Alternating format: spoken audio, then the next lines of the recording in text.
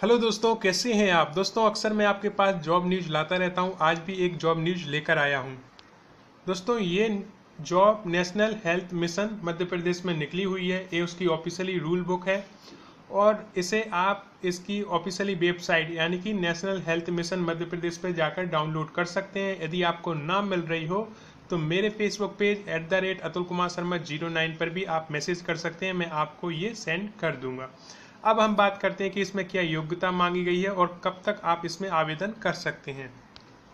तो दोस्तों, ये राष्ट्रीय स्वास्थ्य मिशन मध्य प्रदेश के 3800 सामुदायिक स्वास्थ्य अधिकारियों के पदों की भर्ती है दोस्तों, और इसमें आपको आवेदन करना है।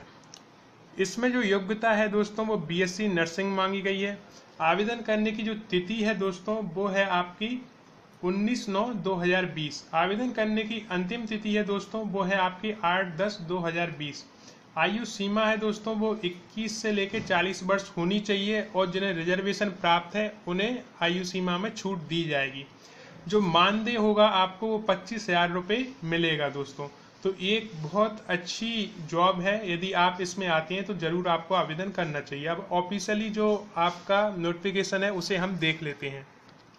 ये आपका ऑफिशियली नोटिफिकेशन है दोस्तों। इसमें सब जो कंडीशन है वो बताई गई है। ये आप पोस्ट देख रहे हो, तीन हज़ार आठ सौ है और यू आर के लिए भी अच्छी है इसमें, है ना? ई डब्ल्यू एस के अंतर्गत S T S C O B C और पी एच बहुत अच्छी पोस्टें इसमें निकली हुई हैं। अब इसकी जो वेबसाइट है दोस्तों ऑफिशियली वो ये है तो इसे आप देख लें और इस पर जाकर आप डाउनलोड कर सकते हैं। इसके बाद आप नीचे जाएँगे तो इसमें सब जो आपकी कंडीशन है वो लिखी हुई है, जैसे कि आपकी योग्यता आप देख रहे हैं कि बीएससी जो है नर्सिंग में होनी चाहिए या जो पोस्ट बेसिक्स है बीएससी वो भी नर्सिंग में होना चाहिए, है ना दोस्तों? तो ये इसकी योग्यता हो गई। और भी इसमें सब चीज़ें दी गई है। रिजर्वेशन में आपको कितना लाभ मिलेगा?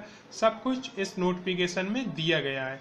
तो मैंने थोड़ा सा आपको बता दिया है तो ऑफिशियली वेबसाइट पर आप इसे डाउनलोड कर सकते हैं और योग्यता में यदि आते हैं तो ज़रूर आपको इसका फॉर्म फिल करना चाहिए।